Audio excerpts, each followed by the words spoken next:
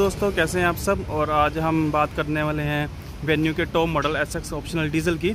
और हम स्टार्ट करते हैं इस वीडियो को फटाफट और आपको देते हैं जानकारी फटाफट इस गाड़ी के बारे में।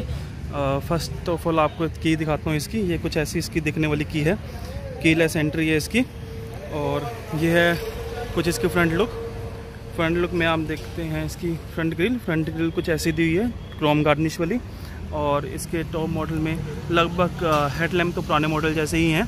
यहाँ पे इसमें एल ई दिया हुआ है और ऊपर ये डीआरएल नहीं है बट ये इंडिकेटर है और ये हर मॉडल में लगभग सेम है। तो आपको इसका थोड़ा मैं पीछे से इसका एक पेनोमिक व्यू दिखा देता हूँ। कुछ ऐसा दिखने वाला है फ्रंट ग्रिल और हेडलैम्प्स हेडलैम्प्स में इसमें टॉप मॉडल में एक डीआरएल आएगा। और अब देखते हैं इसकी साइड लुक साइड लुक कुछ दिखने में ऐसी है। देख सकते हैं आप। डोर्स पे क्रोम हैंडल्स पे दिए हुए हैं।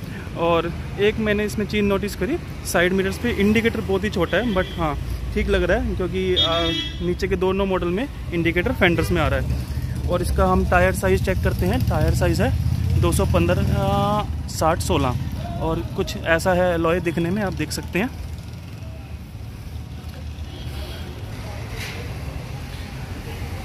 ये सनरूफ वाला मॉडल है। अभी अब मैं आपको अंदर बैठने के बाद इसके सनरूफ की भी फंक्शनिंग प्रॉपर दिखाऊँगा। ये कुछ है इसका, इस साइड से लुक देख सकते हैं आप। इस मॉडल में आपको ये ऐसी कुछ रूफ व्हील्स मिल जाएँगी। बहुत ही मज़बूत रूफ व्हील्स हैं। और कुछ ऐसा मिल जाएगा शार्क फिन एंटीना और कीलेस एंट्री है दोस्तों।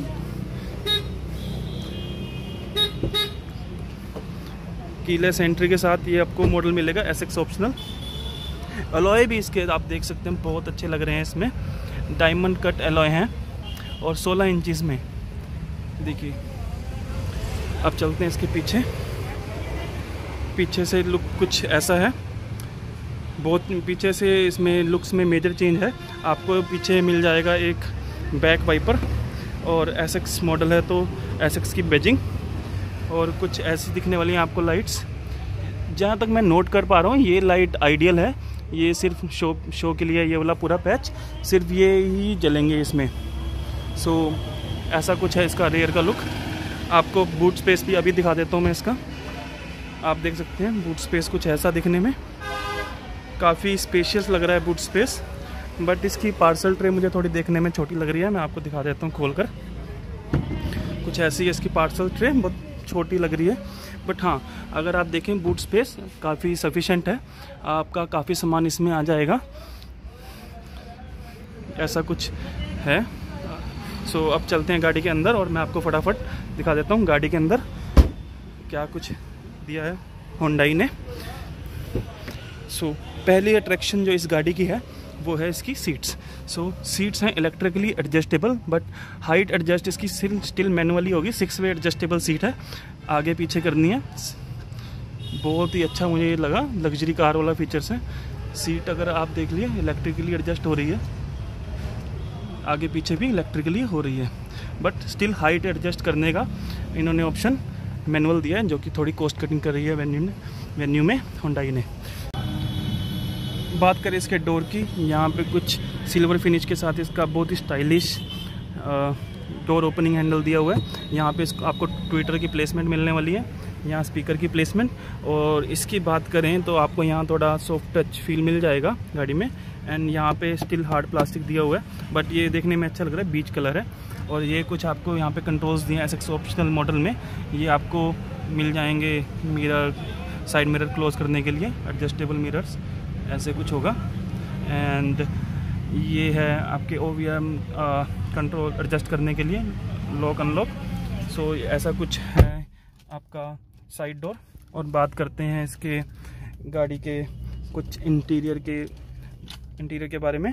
और ऐसा कुछ आपको दिखने में ऑटो ऑटो क्लाइमेट एसी यहाँ पर आपको ऑप्शन दिया हुआ है ट्रैक्शन कंट्रोल का.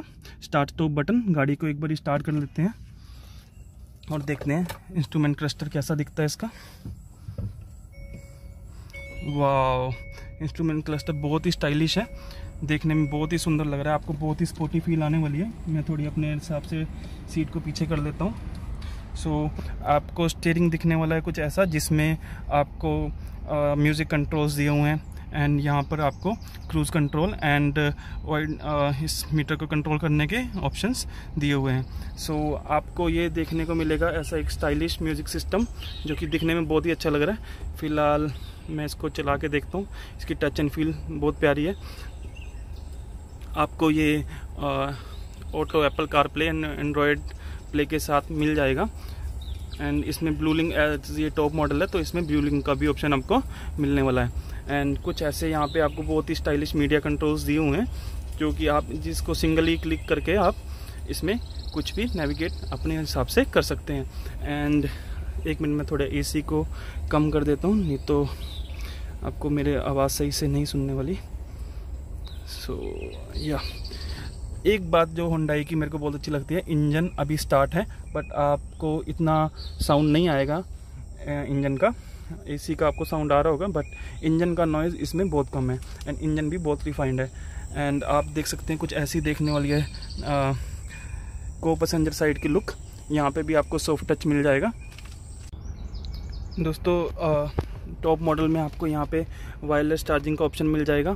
एंड होंडाई uh, ने बहुत ही अच्छा फीचर यहाँ पे टाइप सी केबल का भी दे दिया है। अब आप टाइप सी चार्जर अपना कनेक्ट करके अपनी मोबाइल में चार्जिंग कर सकते हैं। यूएसबी का ऑप्शन तो ऑब्वियसली है ही और 12 वोल्ट का सॉकेट भी आपको यहाँ मिल जाएगा। एंड uh, यहाँ देखें यहाँ पर आपको एयर प्योरीफायर का ऑप्शन मिलने वाला है। यहाँ पे भी आपको एक डिसेंट स्पेस मिल जाएगा, जिसमें आप अपना सामान रख सकते हैं। And yes cold glove box आपको इसमें मिलने वाला है। मैंने आपको पहले भी दिखाया तो आप देख सकते हैं कोल्ड ग्लव बॉक्स और यहाँ पे आप अपने टिकट्स वगैरह रख सकते हैं, जो कि बहुत ही सफिशेंट स्पेस है। यहाँ पे अपना मोबाइल वगैरह आप कुछ भी रख सकते हैं। यहाँ देख लेते हैं। यहाँ पे आपको वैनिटी मिरर मिलने वाला है बट कोई लाइट नहीं है। सो यहाँ पे आपको फ़ोन पे बात करने के लिए जो भी माइक रहता है वो मिलने वाला है एंड ऊपर कुछ ऐसे लाइटिंग की एडजस्टमेंट है एंड यहाँ पर आपको सिर्फ़ टिकट होल्डर का ऑप्शन मिलने वाला है एंड अब इसकी बात करते हैं सनरूफ की, जो कि इसकी मेन अट्रैक्शन है। सनरूफ इसका डिसेंट लग रहा है। आपको मैं इसका सनरूफ खोल के दिखा देता हूँ। यस सो सनरूफ भी इसमें ऑप्शन आपको मिल जाएगा पेनानोमिक नहीं है बट स्टिल ये भी बहुत सफिशेंट है। आपको बहुत एरी फील देने वाला है एंड आपको बहुत मज़ा आने वाला है लॉन्ग ड्राइव पे और पहाड़ों में जाने में। सो so, ये कुछ था इसका फ्रंट का लुक एंड डैशबोर्ड की बात करें सारा हार्ड प्लास्टिक कहीं पे भी सॉफ्ट टच नहीं दिया हुआ। सो so, ये था कुछ आगे का एंड अब चलते हैं गाड़ी के पीछे एंड देखते हैं पीछे क्या कुछ दिया है होंडाई ने इसमें। दोस्तों अब पहुँच गए हम गाड़ी की बैक साइड में एंड बैक साइड की लुक कुछ दिखने में ऐसी है। एंड बात करते हैं डोर की। एंड डोर में दिया हुआ है सेम सॉफ्ट टच एंड यहाँ पे हार्ड प्लास्टिक है। एंड यहाँ पे स्पीकर की प्लेसमेंट मिल जाएगी आपको। कुछ दिखने में सीट ऐसी है। एंड ये 60 40 एडजस्टिंग सीट है।